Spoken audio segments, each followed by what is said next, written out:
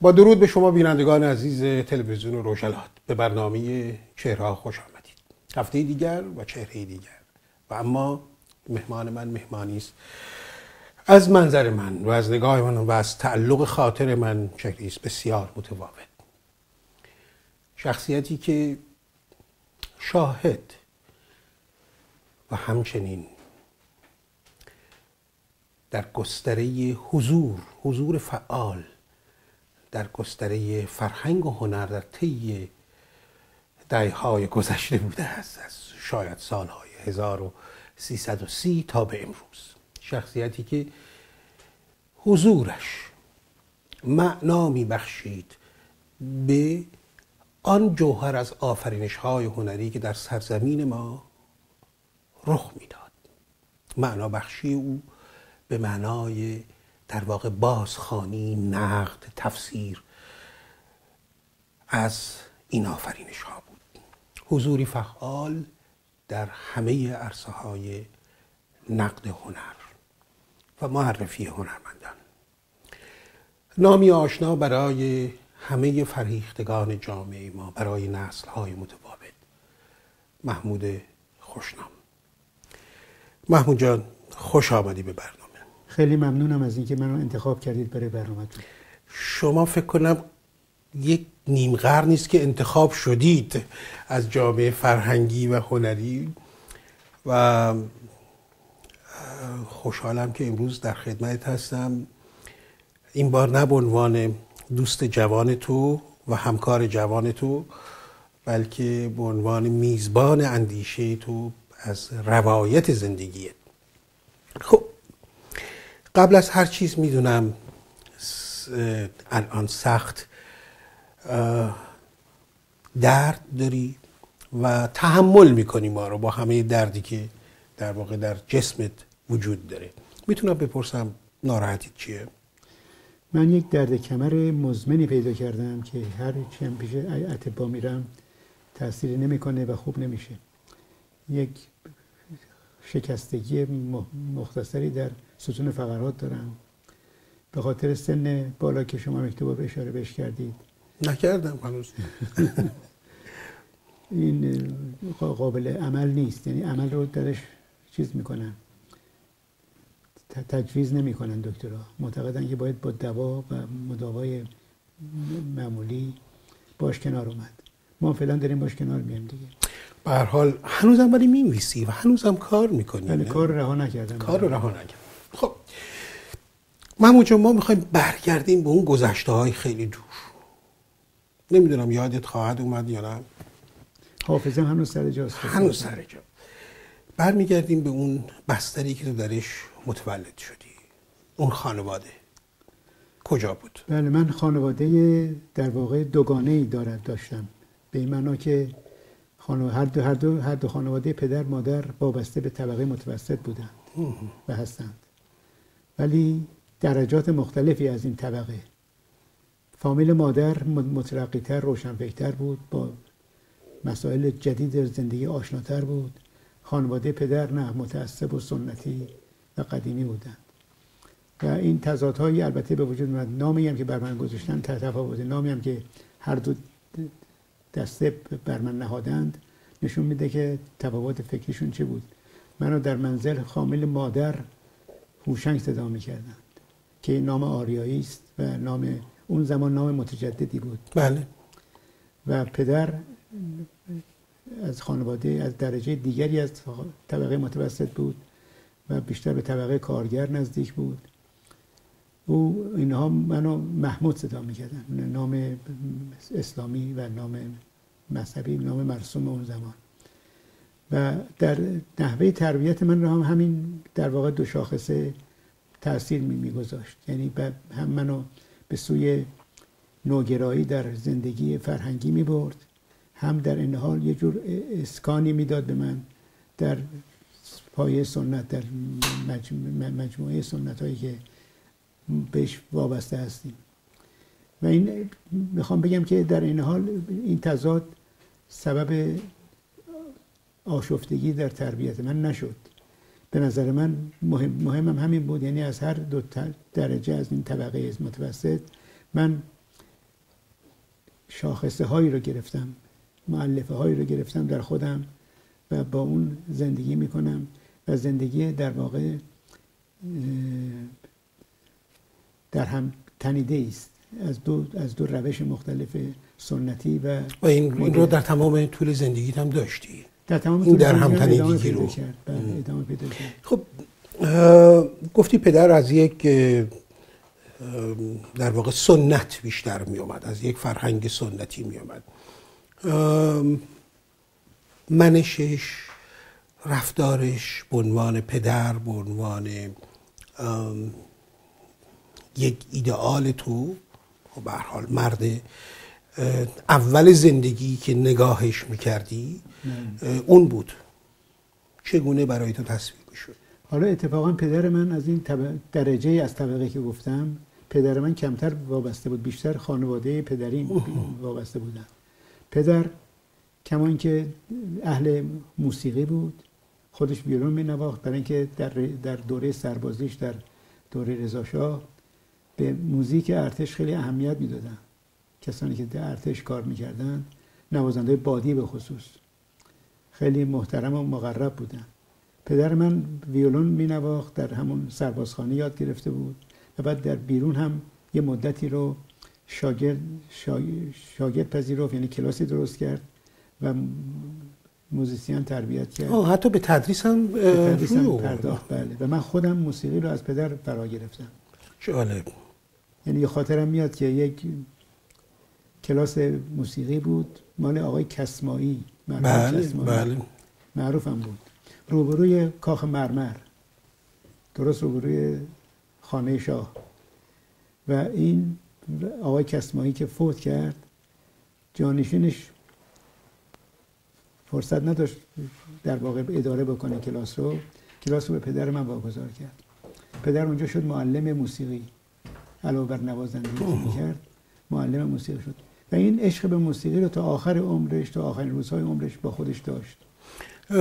بعد رابطهش با تو چگونه بود؟ یک رابطه با اتوریته بود. خب به نسبت ارزش های اون زمان البته ما داریم صحبت می‌کنیم. نه پدر پدر اتوریتر نبود بیشتر مادر اتوریتر بود. و به همین جهت هم اون روش های متجدد تجدد طلبانه که در خانواده مادری بود بیشتر در من سرایت می‌کرد. تا روش های پدر. پدر خیلی مرد ساده بدون ادعای بیش از حد محجوب محسوب می‌شد. مثل خودت. مرسی خیلی ممنون. خب رابطه تو با مادر چگونه تعریف می‌شد؟ یه رابطه عاطفی؟ رابطه عاطفی بود ولی اتوریته همونطور که شما اشاره کردید. یعنی مادر هر چی می‌گفت در خانواده همون باید اجرا می‌شد. کسی حرفی در برابرش نمی‌زد. نه پدر نه من نه بعدها خواهرم که به دنیا آمد. ما دو فرزند بودیم. هر دوی ما از این روش در واقع از تاثیر بزرگتر روش تربیتی مادر خانواده مادر بهره بردیم. چه حسی داشتی به عنوان خب حالا بعدا به عنوان یک نوجوان در جامعه ای که همه زنان به حال از سنت برگرفته از مردان تمکین کنند تمکین می‌کردن در خانه بزرگ شدی در خانواده بستر خانواده بزرگ شدی. که این مادر بود که نقش در واقع فرمانده یک خانواده رو داشت و این گونه هم که معلومه پدرم تا حدی میپذیرفت این فرماندهی رو به تمکین می‌کرد. چه تفاوتی اون وقت خودت رو با اون جامعه این چه تفاوتی رو حس می‌کردی؟ اتفاقا اشاره خوبی می‌کنید. این روابطی که مادر ما, مادر ما با ما داشت آینده ما رو ساخت. و ما از تجدد هیچ وقت قافل نبودیم. در یعنی اینکه از نظر طبقاتی عرض کردم جز طبقه متوسط مایل به پایین بودیم. ولی از نظر برداشت ها از نظر تمایز از نظر آنچه که به دست می آوردیم یا می‌خواستیم از دست بدیم همه زیر تاثیر روش های تربیتی مادر و خانواده مادر. این فعالیتی که در خود خونه صورت می گرفت یعنی در حوزه خب متوجه شدیم که هنر یکی از فعالیت هایی بود که حوزه هایی بود که در این خانه وجود داشت هنر موسیقی. دیگه چه چیزایی این خونه در اختیارتون میگذاشت؟ مثل کتاب مثل مباحث بحث و جدل. شعر و کتاب خیلی موثر بود. یعنی در وهله دوم شاید حتی در وهله اول چون موسیقی رو همیشه اجرا نمی‌شد کرد شعر رو همیشه می‌شد خواند. کتابخونه ای بود؟ کتابخانه نه ولی پدر اهل کتاب بود. با اینکه شغلش در کارگری بود در کارخانه قند کار می‌کرد. و سرپرست کارگری بود. سرپرست کارگران بود البته. ولی در اوقات فراغت سخت به شعر و تغزل ولی اون هم دنیای بسیار متضادی داشت. یعنی از یک سو به عنوان یک نیروی کار کارگر از یک سو دیگه به عنوان یک هنرمند مدرس موسیقی و اهل شعر و ادب. بله عرض کردم که به ظاهر تعارضی بین این دوتا هست تناقضی هست. ولی می‌تونه ولی می‌تونه خیلی شکوفنده باشه یعنی شکوفان ساز باشه. و همینطور هم بود. یعنی من اگر به چیزی دست پیدا کردم ناشی از این مقدار احساس حجب و فروتنی پدرم هم هست. خب اگر بخوای اون دوران کودکی تو اون بستر خانواده رو با یک کلمه در واقع هارمونیک یا غیر مطرح کنین واقعا بود؟ این خونه خوی خانوادی یک خونه هارمونیک برای تو بود؟ مطبوع بود؟ برای من مطبوع بود. من تا گرفتن دیپلم دبیرستان با پدر مادر زندگی می‌کرد در تهران دیگه. عرض می‌کنم به پدر چون کارمند کارخانه قند بود عرض کردم. همیشه تو بیابون ها زندگی می‌کردم. کارخانه قند همیشه در اطراف در اطراف شهرها هستم و منم به تبع می‌رفتم در سفرها با اینا همراه بودم. رفتیم به کارخانه قند آبگوه در مشهد به کارخانه کرج کارخانه کهریزک کارخانه شازند. کرمانشاه. و زندگی می‌کردی در این مناطق؟ من همه زندگی می‌کردم دیگه. چهار سال دوره کار بابا. خب بعد اون وقت وقتی که از این شهر به شهر دیگه می‌رفتی همه رابطه هایی که ساخته بودی به هم می‌خورد. می‌شد بله خب این این گسل ها این گسست ها چه تأثیری توی محمود یا هوشنگ جوان میگذاشت؟ خب یه نوع انضباط طلبی امروز من که تا حدودی برای همه روشن هست. ناشی از همین زمین های تربیتی می‌تونه باشه. یعنی اینکه دوام نداشته دوستی های ما با در واقع اون دوستی دوام نداشته و بعد تو رو بیشتر سوق نمی‌داد به طرف دوستان مجازی یعنی کتاب باشه موسیقی باشه دنیای ارتباطات این گونی چرا؟ اینا رو داشتیم ما همه رو. ولی منظور بنده این بود که پدر و مادر همونطور که شما سوال کردید در پاسخ باید بگم نقش عمده داشتن در ترسیم خطوط اصلی زندگی آینده من. برخی چیزها رو از مادر گرفتم از روش متجدد متجددانه و تجدد طلبانه مادر خانواده مادر و چیزهای یه خود جدی و سنتی رو از خانواده پدر. اینو براتون بگم که تو خانواده مادر من یه دایی داشتم که خیلی مرد مقتدری بود. یعنی همه خانواده مجذوب و مفتون و مرعوبه. حتی گاهی می شود گفت چرا؟ برای اینکه عضو چیز بود یعنی به مقام سفارت هم رسید. عضو وزارت امور خارجه بود. و تو خانواده ما کمتر کسی به این مقام رسیده بود در این حد مقام رسیده بود. و این برای خودش یه فخری می‌دونست حتما. و همین فخر سبب اقتدارش می‌شد. تمام تصمیم ها رو باید او تایید بکنه. کسی می‌خواست زن بگیره تو خانواده کسی می‌خواست طلاق بگیره. اینا هم باید با چیز با تایید دایی گرامی بنده باشه. بعد رابطه تو با این دایی با این اقتدار چه من مقاومت می‌کردم. من از این حد می‌زدم. من از این سرکشی ها داشتم کمی. در عین حجب و حیا ولی گاه که به استخوانم می‌خورد به قول معروف یکی از اون قیام ها یادته؟ تعریف کنی از اون قیام هایی که تأثیر بخش بود در روند بعدی زندگی شاید ولی حالا مسئله بر سر اینه که دایی بنده بود و خانم دایی بنده. که خانم ها تاثیرشون زیاده او خانم دایی خود متفرعن بود. و این تفرعنش قاطی می‌شد با اتوریته پدر تاثیر میذاشت و او رو نسبت به یه دیکتاتور واقعی جلوه می‌داد. ولی من در مجموع نسبت به دیگر افراد خانواده رابطم بهتر بود با دایی. یعنی از من یه مقدارم با وجود همه اتوریته بودن از من یه کمی هم میترسیدن شاید. که مبادا یک سرکشی ناگهانی بنده از من سر بزنه و, و اون اقتدار دیوار اقتدار فرو بریزه و تجربه بشه. برای تکرار. و, خب. اینم بگم من وقتی دیپلمامو گرفتم باز دایی من بود که تصمیم می‌گرفت که من کجا برم درس بخوانم ادامه بلکه برای آینده من بهتر باشه. پدر این کارو نمی‌کرد ولی دایی من می‌کرد. تو حقوق خوندی نه؟ بله اصرار داشت. آقای دایی بنده حضرت نامشو نبرم. اصرار داشت که من حتما حقوق بخوانم که بعدا بری وزارت امور خارجه. برم و من نمی‌خواستم اینو. من تو تمام وجودت با هنر بود همیشه. بله. محازا رفتم. رفتم امتحانم دادم و قبولم شدم. ولی وقتی که در کنکور دانشگاه ادبیات قبول شدم رها کردم اونو و رفتی ادبیات.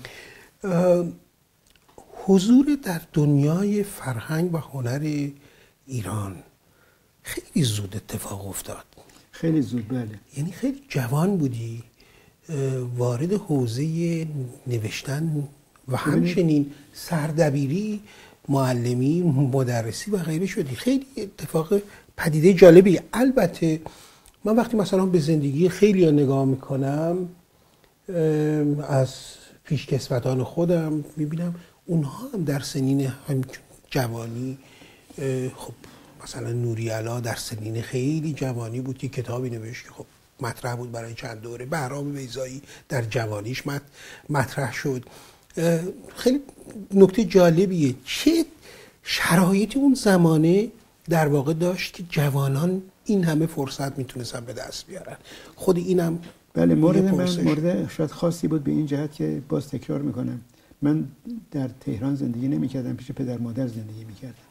برای آزاد شدن و رها شدن و مستقل شدن من اومدم ازشون جدا شدم در خانه خانه در تهران مستقل 19 سالم بود.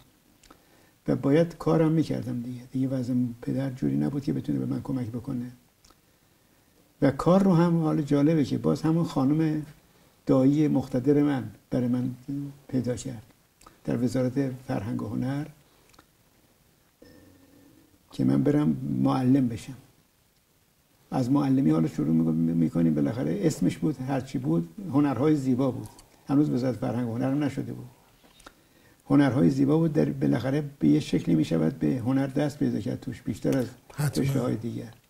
این بود که رفتم به کمک خانم دایی. کاری پیدا کردم در هنرهای زیبای سابق که بعد وزارت فرهنگ هنر شد. و معلمی معمولی در هنرستان عالی موسیقی در کنسرواتوار تهران نه به خاطر موسیقی به خاطر ادبیات, فارسی. منو استخدام کردم و من بچه بودم قد, قد و قوارم هم کوتاه بود و کوچک بود. و بچه های شاگرد های من دو برابر من قد و هیکل داشتن. و معزلی بود این چجوری با این شاگردان رفتار کنم. ولی به حال دوام آوردیم و کار به جای رسید که بالاخره بعد مدارج ترقی اداری رو طی کردیم. اومدیم بالا. هم نسلار من خب با نام محمود خوشنام آشنا بودم و پیوند خاصی میان نام تو و جهان موسیقی خودمون در کشور خودمون می‌دیدن. برای ما وقتی فهمیدیم که سالها پیش من متوجه شدم که تو در واقع معلم ادبیات کنسرواتوار بودی یا هنرستان موسیقی بودی؟ تعجب آور بود همه فکر می‌کردیم خب بخشی از این موسیقی رو احتمالا محمود خوشنام جامعه شناسی هنر یا هر چیزی که درس می‌داد. ولی نه آغاز کار تو با ادبیات بود در هنرستان. در حال نکته جالبی رو براتون بگم شاید یه کمی این به مزاح آلوده است ولی واقعیته. من در این حال معلم جوکر بودم. یعنی معلم معلم جوکر به این معنا که هر جا کم بود. هر جا معلم نمی اومد مریض بود گرفتاری پیدا کرده بود ما می‌رفتیم جاش درس می‌دادیم. یک بار یه معلم معلم نقاشی این گرفتاری رو پیدا کرده بود. و با ما گفتن برو برم سر کلاس نقاشی. رفتیم سر کلاس نقاشی گفتیم بچه ها خب چی چی کار می‌کرد؟ معلمتون با شما هر جلسه ای میومد گفتن که بر ما یک مدل می‌کشید روی تخت سیاه و ما از روش می‌کشید نمره می‌داد. ما هم گفتیم این کار من شدم بودم این کار منم می‌کنم. نقاشی بلد بودی اصلا؟ نه دیگه اشکال کار همینه. و بعد رفتم توی یادم میاد که یه. دفترچه مدل های چاپ شده بود مال معید ثابتی. معروف بود خیلی تو کتابچه ها از روی اون نقاشی می‌کردم ورق زدم دیدم یک ساده ترین چیزش یه آینه بیزی است آینه که به دیوار آویزونه. گفتم که این رو چیز کنم این رو بکشم. رفتم پای تخته هر چی شروع کردم نوشتم این طرف بیزیش قب می‌زد بیرون. از حالت بیزی در می اومد سه دفعه چهار دفعه پاک کردم. حالا بچه ها تو کلاس دست انداختن. ریگ از آخر کلاس پرتاب می‌کردن. واسه ما گفتیم بابا هر جور که خودتون می‌کشید بکشید بیارید هفته دیگه. یه بیزی بکشین اصلا مثلث باشه. فهمیدید که نه بابا اینقدر هر چی که ساده ما می‌بینیم ساده نیست. دقیقا همینطوره. تو شروع کار تو در واقع با تدریس شروع می‌کنی این گونه. اما به زودی وارد عرصه کار موسیقی میشی. مجله موسیقی آن زمان تحت عنوان مجله موسیقی. به سردبری یکی بود. سرده مجله موسیقی و موزیک ایران با هم قاطی نکنیم دو تا مجله. آها دو تا مجله. هر دو تا هم بودی تو. یکی موزیک ایران بود درسته. که خصوصی بود. مال دولت نبود.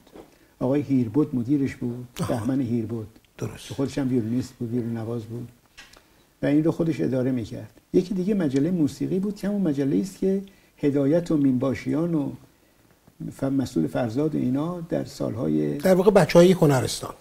قبلا ساخت مجله رو در بود دوره اولش رو در برده بود. دوره دومش هم روبیک گرگوریان در برده بود.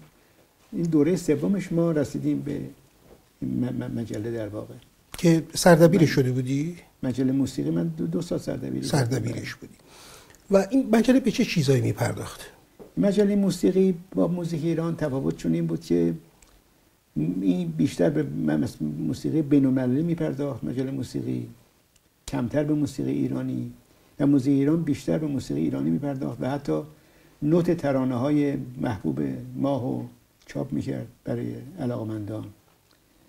یه نوع دیگری بود. من هر کدوم از اینا دو سال تقریبا سردبیری کردم.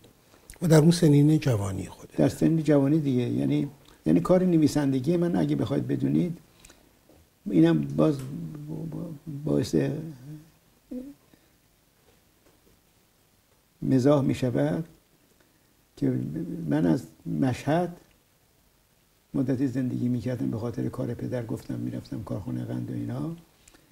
از مشهد با روزنامه توفیق رابطه چیز برقرار کردم رابطه و برای توفیق می نوشتی نه؟ نویسندگی بله. نه اولین کار نوشتنم اصلا با توفیق شروع شد. بعدها دیدم توی این شناختنامه هایی که برای هنرمندان بزرگ میمیسن قالب اینا با توفیق شروع کردن اصلا.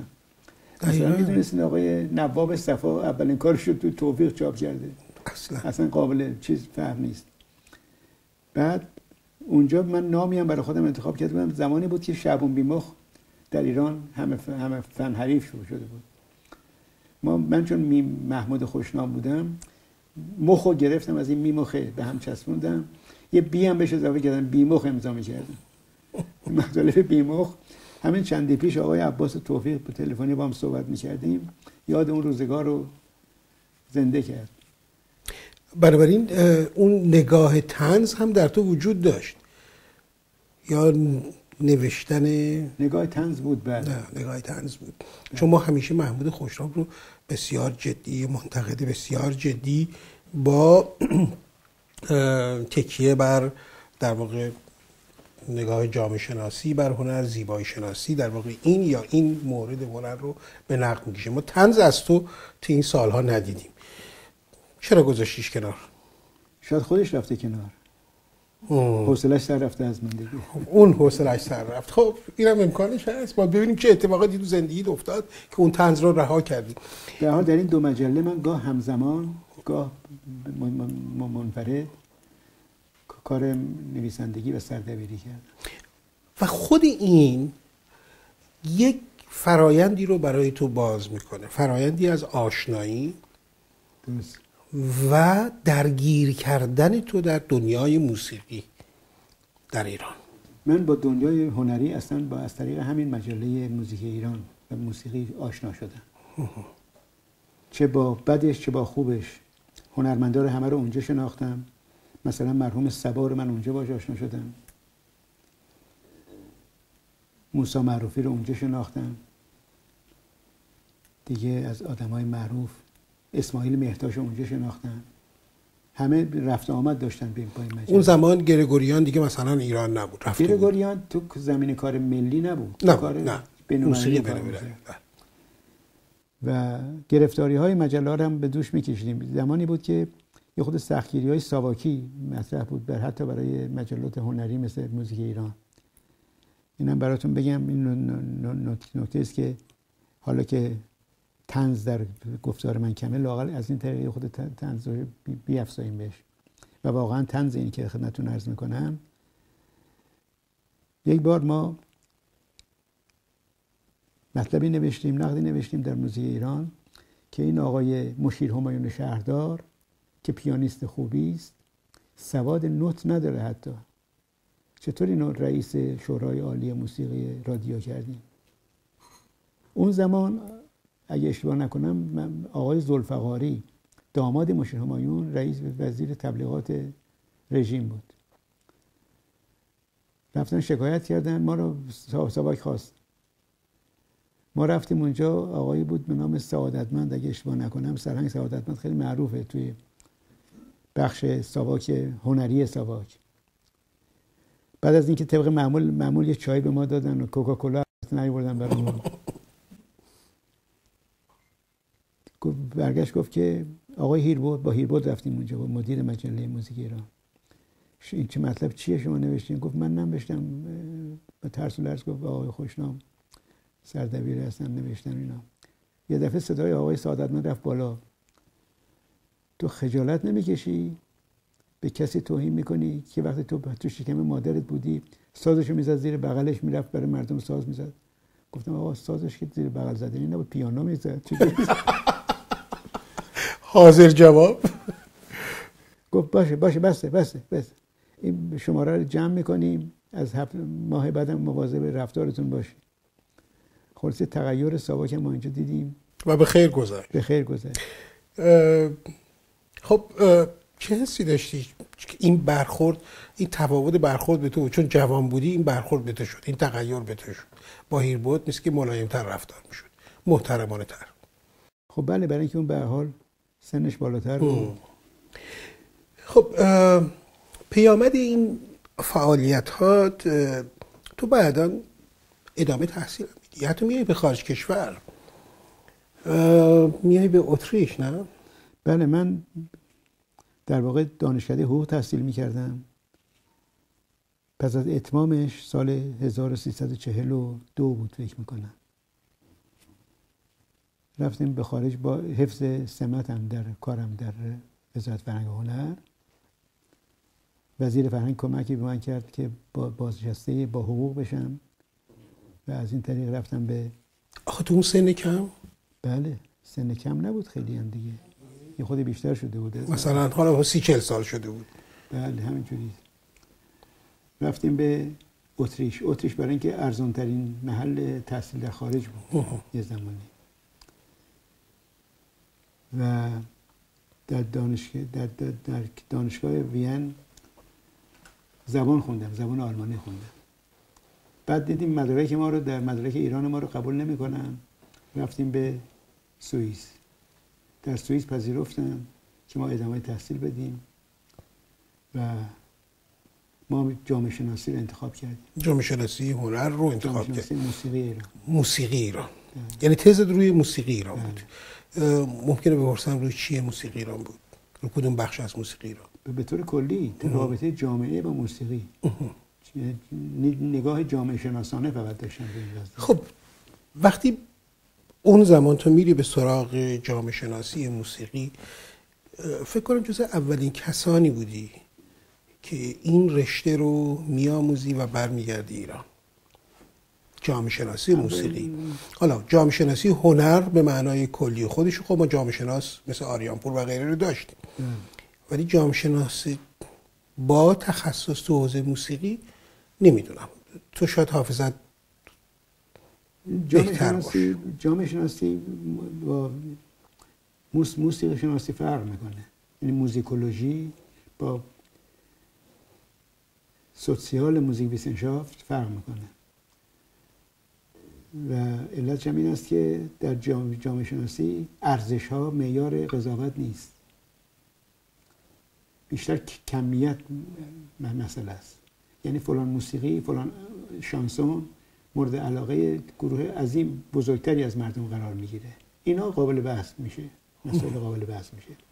در حالی که در در موزیکولوژی یا موزیک ویسنشافت یا موسیقی شناسی بیشتر کیفیت موسیقی هست که مورد نظر هست.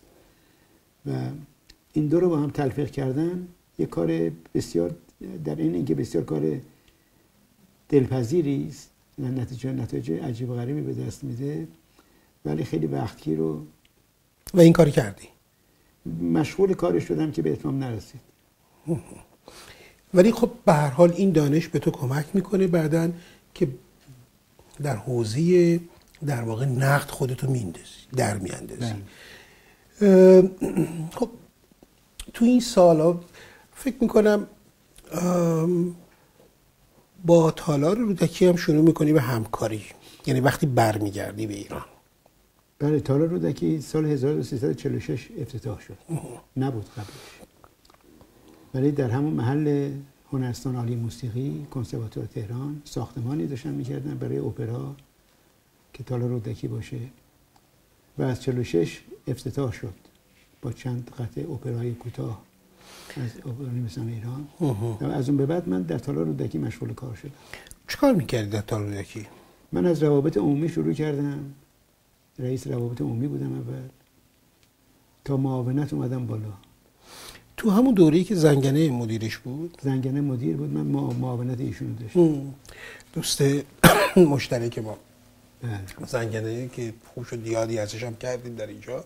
زحمات بسیاری برای به هر حال این تالار کشید و این تالار رو هم در درون خودش مجموعه عظیمی از آفرینش ها رو امکان پذیر کرد. حالا به بخشش می‌پردازیم. جالب اینه که تو کار تو یه بخش دیگه از کار هنری تو در همین تالار رودکی شروع می‌کنی. یعنی شروع می‌کنی به ترجمه اپراهای اشعار اپراهای مطرح زمان که داره اجرا میشه. چرا این ترجمه می‌کردیم خب به این فکر افتادیم که بیشتر این که مردم با اپرا کنار نمیان مردم عادی. یه خود دلزده هستن از اپرا. زبانشو نمی‌فهمن. زبانشو نمی‌فهمن. یعنی زبان اگر فارسی باشه به کمک می‌کنه به جاذبهش دیگه طبیعتا. یعنی همون آثار اجرا می‌شد توسط خواننده های ایرانی؟ با اشعار فارسی ولی با با. دوبله اشعار دوبله. فارسی. نه نه با ترجمه با دوبله, دوبله.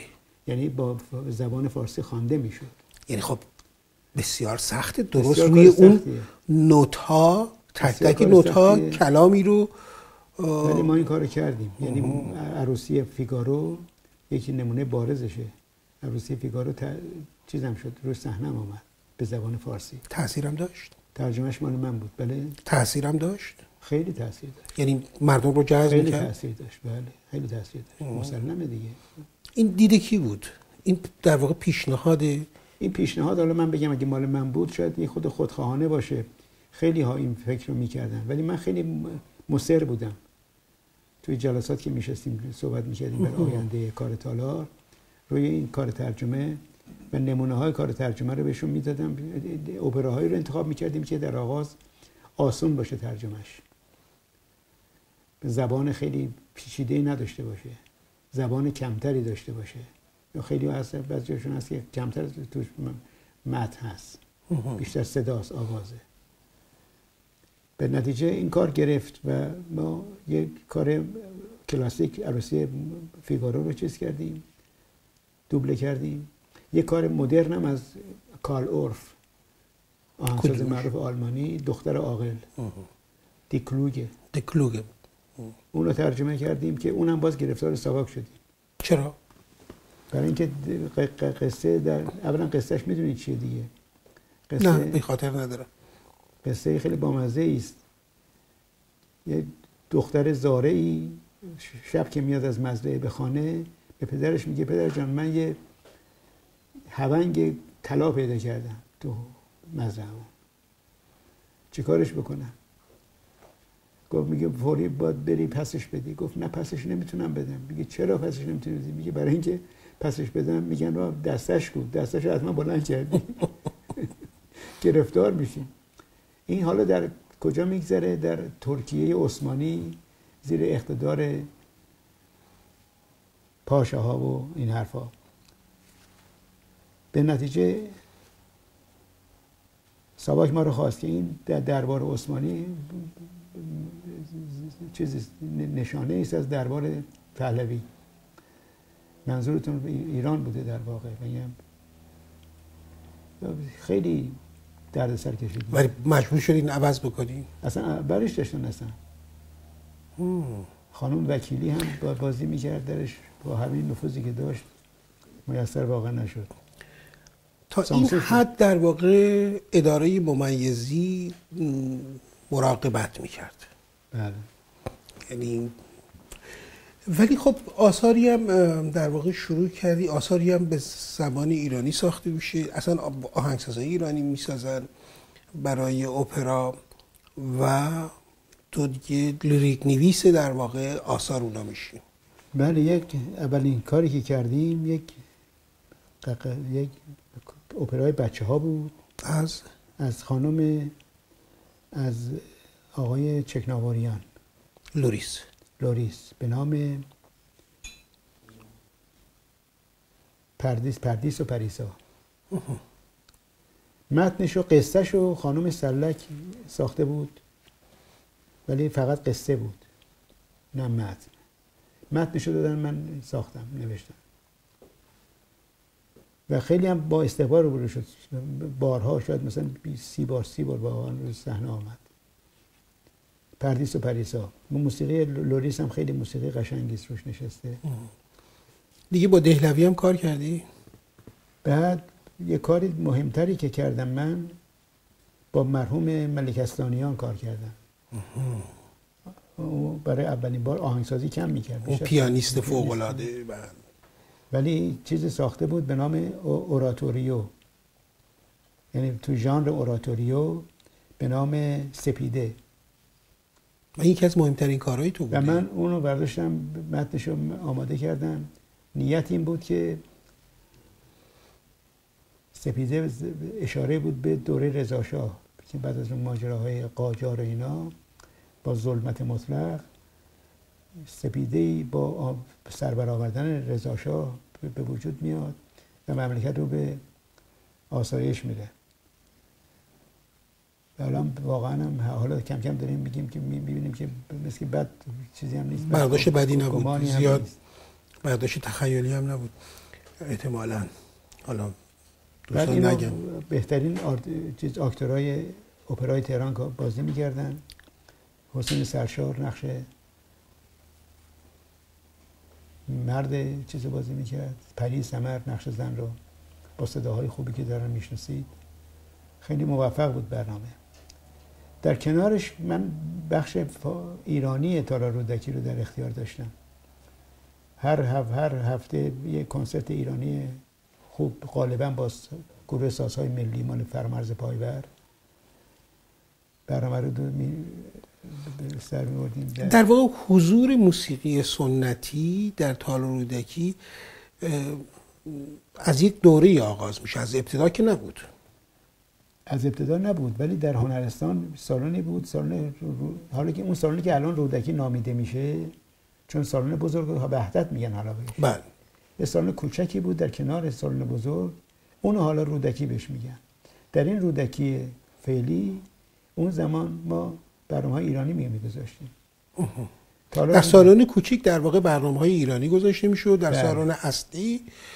نه اگر اینکه برنامه ایرانی در حد اپرا باشه در حد باله باشه یا مهمانان خارجی, خارجی باشه. سولیستا و غیره. خب مایل هستم. اول از این تالار رودکی شبیه وزارت خونه عمل می‌کرد.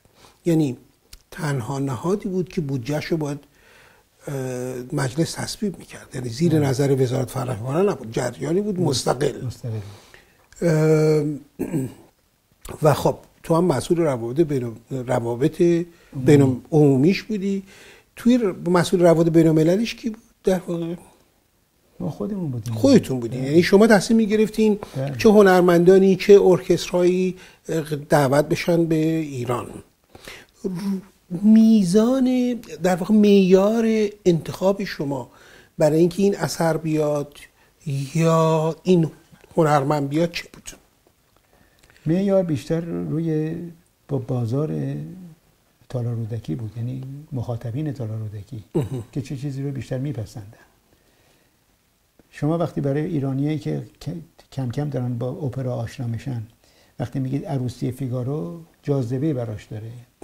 بگید از موتسارت برای اینکه اینا رو میشنیده به گوشش خوردن ولی وقتی میگی مثلا همین کارل اورف زیاد جاذبه براش نداره. باید کمی هزینه کنی تا بتونی اینو بشناسونیدش به مخاطب. ولی مثلا موتسارت رو خب می‌شناسن باخ رو می‌شناسن اینا. در شناخت آثار آهنگسازان آن زمان ایرانی مثل گرگوریان مثل تا برسیم به نسل جوانترش احمد پژمان و غیره این تالار چه کرد؟ شما چه می‌کردین؟ بله تالار همونطور که عرض کردم یک قسمت مهمش صرف اپرا می‌شد. یعنی سا- سازمان اپرا دفتر اپرا پیوست بود در پیوست بود با تالار رودکی و باله نه بالا هم بود بله. بله. یعنی گروه های مختلفی بودن همه در پیوست وابسته به تالار رودکی به, آهنگسازانی که شما نام بردی سفارش داده شده بود که بسازن. موزیک برای پیشنهاد بدن و بسازن. رپرتوار اپرای تهران رو تقویت کنن. خب چند تا کار یاز میدین؟ در جمع 11 تا اپرای ایرانی ساخته شد. در عرض ده سال. از 1346 کیا ساختن؟ دهلوی بود پژمان بود ملک اسلانیان بود. بعد بزرگتون ارز کنم هر کدومشون دو تا سه تا کارم کردن البته. خسرو و شیرین مال حسین دهلوی بود. کدوم یک از این آثار؟ آثاری که آهنگسازان ایرانی ساختن. فراتر از خودت از تار رودکی آغاز میشه اجرا میشه اما فراتر از تار رودکی در میان مردم معرفی میشه. یعنی به اینکه آشنا بشن آشنا بشن. بله یه مقدار برنامه های برای آشنایی ما ایجاد کرده بودیم. چه چه از طریق سخنرانی و گزارش های هنر فرهنگی و چه از نظر عملی که اپرا چی هست. حتی خانم وکیلی که دفتری رو پیشنهاد کرده بود. دفتر برنامه های تلویزیونی تالار رودکی که بشه صحنه های تالار رودکی رو راحت به صورت فیلم در آورد در, تا- در تلویزیون؟ تلویزیون نشون داد. و این خیلی کمک می‌کرد در شناخت بیشتر مخاطبین با اپرا. ولی فرصت نبود. ببینید فرصت ده سال یازده ساله خیلی کم بود. ده سال برای یازده تا شروع کرده بود. بله. ولی در ضمن کمک بزرگی هم برای آثار سیمفونیک شد. بله. یعنی این گونه نبود فقط برای بله تالار برای مجلل خوبی بود. بله. و تشویقی شد اول از این ارکستر سیمفونی فوق العاده خوبی در ایران تهیه و تدوین شد و فرصتی شد که هم نوازنده خوب تربیت بشه هم رهبران خوبی تربیت بشن و همچنین آهنگسازان بازوق اگر بخوای این دوره از تلاش رو که تو درش دخالت داشتی حضور داشتی هم تو بخش مدیریت هم تو بخش خلق خلق آثار این دوره رو یک بررسی بکنیم چگونه اون رو ارزیابی می‌کنیم این همون دوره است که در زمینه شعر و نقاشی و تئاتر و سینما میشه مطرح کرد. دقیقاً. دوره شکوفایی. دقیقا. مثل اینکه این شکوفایی از دید جامعه شناسی یک امر سرایت کننده است. یعنی در یه جامعه وقتی که هنر شکوفا میشه هنر دیگه منم به تبع میاد بالا. و همگانی میشه. همگانی میشه و در این ده سال خب دیدیم دیگه شعر به چه مقامی رسید. سینما به چه مقامی خب شعر که همیشه به لحاظ تاریخی مقام خودش داشت ارج خودش داشت. اتفاقاً بخش های دیگه هنر بودن که مورد بی مهری و بی لطفی قرار بودن موسیقی تالار رودکی نقش عمده با ایفا کرده به نظر. چه از نظر جذب مخاطب چه از نظر خلق آثار بی‌نظیر بوده. یعنی در تمام تاریخ موسیقی در ایران چنین چیزی شما نمی‌بینید. میشه گفت که این دوره باعث شد ما صاحب یکی از بهترین ارکستر سمفونی های حداقل اون منطقه از جهان باشیم. بله. و همچنین آهنگسازان و رهبران. بله آهنگسازان و رهبران رو کمتر من روش انگوش می‌ذارم تا خود تا ارکستر سمفونی تهران. این ارکستر ارکستر نفرین شده است راست شده بخواید برای اینکه هیچگاه نتونسته یه ثباتی برای خودش فراهم بیاره و در ثبات کامل و با امکانات کافی کارش ادامه بده. حتی اون موقع؟ هر دو سال یک بار یک رئیس رئیس عوض رهبر عوض می‌کرد.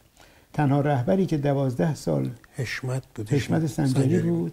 اونم دوازده سالش هم مستمر نیست. باز وسطاش شکست داره. پراکنده است. یعنی ولی درخشان ترین این دوره اون دوره. خیلی به انتقاد می‌کردن به سنجری انتقاد از سنجری می‌کردن. ولی سنجری به نظر من بهترین رهبر بوده تا اون لحظه که حتی از حنانه که اینقدر صحبت از جذابیتش می‌کنن به نظر من بهتر از او بود. یعنی یه مقدار ثباتی در کار سازمان به پدید. خب محمود جان هیچ می‌دونی ما یک ساعت رو گذروندیم هنوز به هیچ جا نرسیدیم. بنابراین وعده باید بدیم به بینندگان که برنامه هفته دیگر ادامه برنامه رو حتما توجه کنن. ما هنوز به در واقع دوران انقلاب که تو گیومه البته به انقلاب مینامن نرسیدیم و رویدادهای اجتماعی سیاسی دگرگونی ارزش ها و یا واژگونی و تغییراتی که در زندگی خودت رو داد و تو شاهدش بودی و رو به سوی در واقع مهاجرت یا به زعم ما تبعیدیان تبعید اه، آوردی و ببینیم که روایت زندگی تو و نگاه تو نسبت به این حوادث چگونه بود؟ من در خدمتم هر به هر حال. سپاس که تا اینجا همراه بودی و فروتنانه این روایت خود رو با ما مطرح کردی. من بدرود به شما نمیگم. برای اینکه برنامه ادامه داره. هنوز آغاز کاریم فقط براتون تا هفته دیگه بهترین آرزوها رو دارم. من و محمود برای شما بهترین آرزوها رو داریم. بمونید منتظر باشید. بخش دوم با هم میریم سراغ روایت زندگی و میآموزیم. میآموزیم که در این هنگامه های تاریخ در واقع چه گذشت بر این سرزمین ما؟ چه اقداماتی شد؟ چه کارهایی و چه آفرینش هایی صورت گرفت؟ پس با ما خواهید بود. شب و روزتان خوش.